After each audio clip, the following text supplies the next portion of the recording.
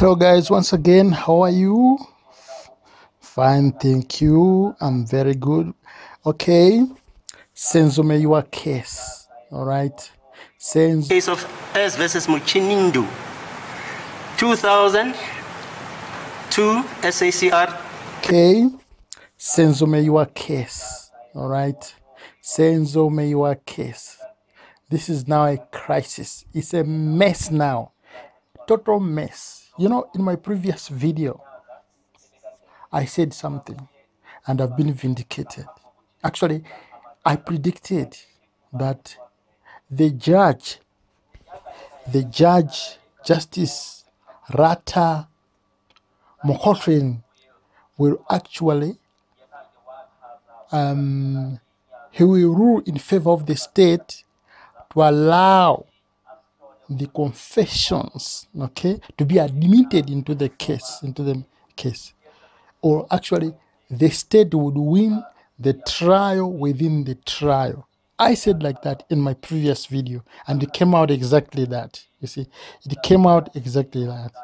So this time around, what I'm saying here is that the mm, the the confessions have been read. We have heard the confessions.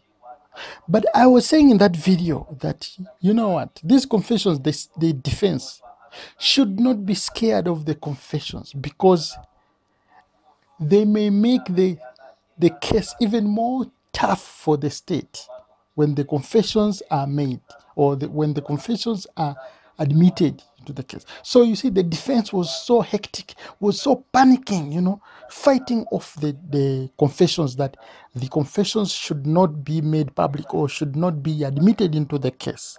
But in that video, I said they stay, the defense, okay, the defense lawyers should not panic. Perhaps these confessions, okay, may become their big defense. You understand? I said like that in my previous video because they may create some confusion. You see, I said like that in my previous video, and that is exactly the case. See, look at the confessions now, what is happening. There are two confessions that have been read so far.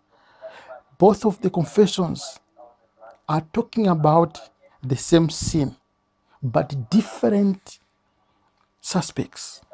You see, uh, Sibiya looks like he was not directly involved in the scene because from the narrations, from the statements that he gave, right, it's like he was only escorting those guys, the killers. And in this case, there are only two and there are three together with Sibiya. So the, his confessions, there are only three suspects. Out of the three suspects, he is the only one. Those other two, they are not known where they are. Of course, he said they were arrested and the other one was killed. You see, he's dead. The, the one who pulled the trigger or the one who killed Senzo Meyiwa is not there on the list of the suspects that are currently answering the case. That's what this the, the confession is saying. So this is a total confusion because people were saying no, the suspects that killed Senzo Meyiwa are here. These five five suspects, but Sibiya, who is suspect number one, is saying that no. In in his confession, that confession, the confession that he made to um, to Colonel Rapadu, okay, he he he said that he, received a call around September. He received in 2014. He received a call from a guy by the name Marco Buthelezi and his brother by the name Makimba Buthelezi. They were two together. Then they explained to him that they have a job to do or an assignment where they were told to assassinate or to kill Senzo Meyiwa. All right. Now they got that contract and they charged. All right. He was there. Then they say that on the day, but but he said Saturday. they called him again. That was Saturday was 25, which is 25 was 25 October 2014. Okay, they called him again and came and picked him to do the job.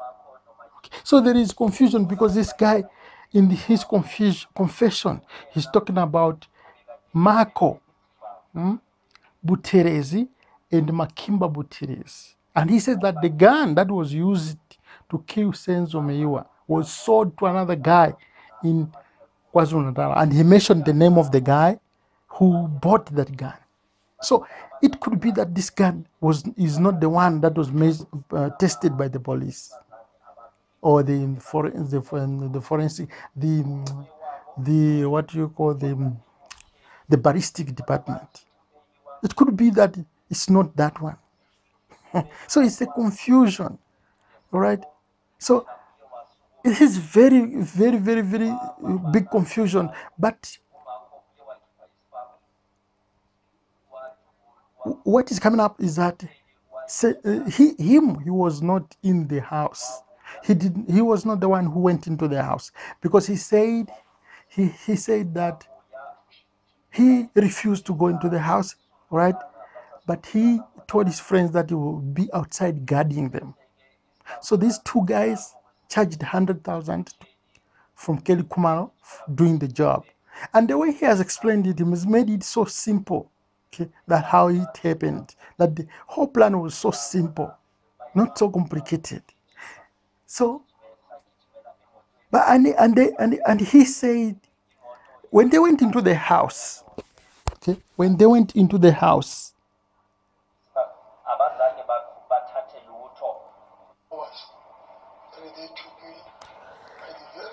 when they went into the house, they found three people. They found Kelly Khumalo. Kelly Khumalo, and uh, he, his sister, her sister, and uh, Senzo Meyiwa. So the during the, that confession, the police asked him, "How did you know?" Because you you said you did not go into their house, and he said that those two guys told me the whole story and said they did not take anything from the house. You see, dropping the call. He told us that Kelly is calling. They want to know if we are. this is a crisis. This is Then we alighted at the corner and we walk on foot to the house. And the firearm was with Marco.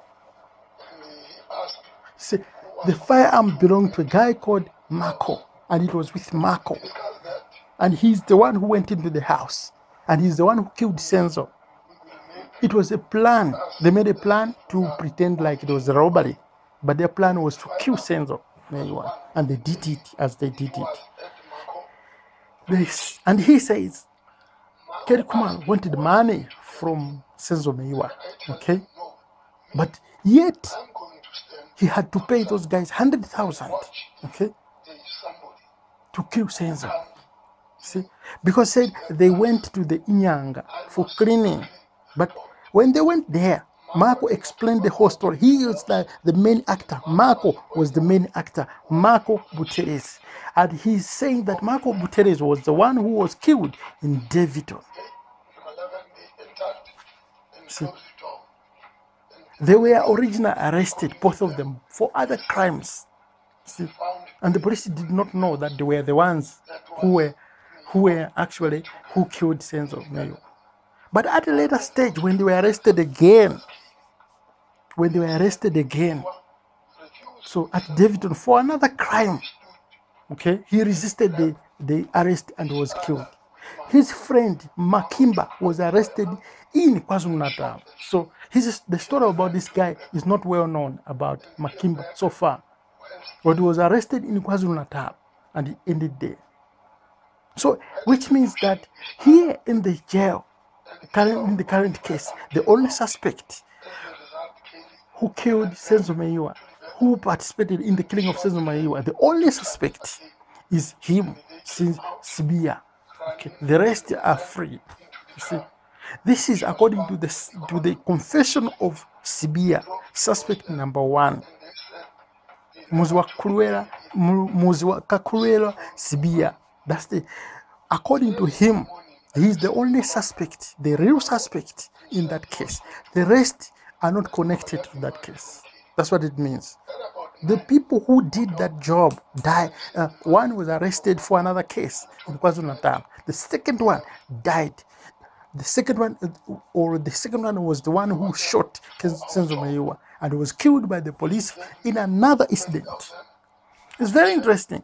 So let's go back to um, Three of us to go to give Nkulu 5,000. see, he's saying that there were only three suspects, three of them. to rinse ourselves with other medicine You handed him back to Jonathan, who brought him back to you. and the cell phone, leaving Carlos behind. While Maphisa ran into the house, I then proceeded directly to the Now this is. Ntanzi's, Ntanzi's confession, waited in the car with which is totally different from Sibiya. within a short period of time. But this Ntanzi is mentioning of Sunday. Here and hmm? Maphisa Sibiya was mentioning of Saturday. See, Carlos took the cash and the cell phone from me, and there was oh. at the hostel. I received an amount of fifty thousand cash. huh? I then left with Mkani to Johannesburg, where I slept over. The following day, Mkani took me to Daveyton, where I stayed from some days. Some days.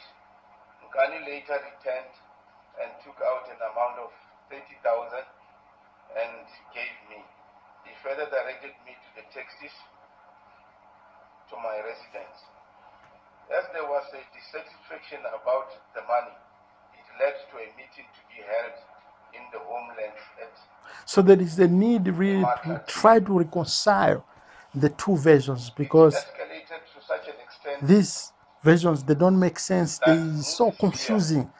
So there is need there is a need to reconcile them so that the case can make sense. Otherwise, in in this case, in this case, it looks like there were two teams, there were two instances that happened for the same matter. See? So we there is a need for we, we don't understand how these two can be reconciled.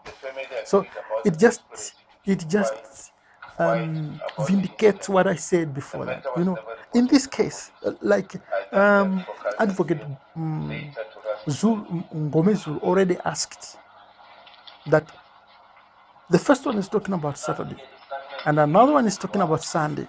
He asked this question, okay? And here we had heard about there were three people in the house, and we heard that they have not taken, they did not take in anything from the house. So you see, the lawyers now are getting more, get, getting more energy now to see that the two versions they don't make, they don't look, they don't, they, they would not be helpful for the state. They would not be helpful. They would make even more, more confusing for the state. But we are still watching. To we are expecting to see, to hear more confessions because I think there would be maybe three or four confessions that were recorded. We are not sure about it, but they should be. So we st- we'll, we'll still be waiting to see what kind of uh, technique will be used by the state to, reconcile the two versions. Thank you so much, guys. Enjoy yourselves. Subscribe to my channel and follow me, and let's